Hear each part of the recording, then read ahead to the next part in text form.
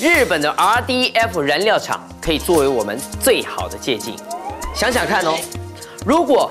我们把国内乡间的一些焚化炉全部用 RDF 燃料厂来取代，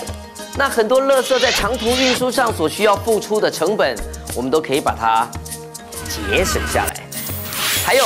如果我们拿 RDF 的燃料来混合燃煤，或者是完全的取代燃煤使用的话，我们就可以减少燃煤这一类化石燃料使用的比例。当然，同时我们也可以大大的减少了二氧化碳的 排放，就像这样。另外，RDF 的燃料，它水分的含量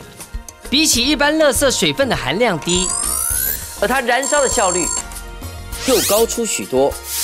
它燃烧时所产生的水蒸气也比焚化炉来得高，因此它可以更有效的来发电。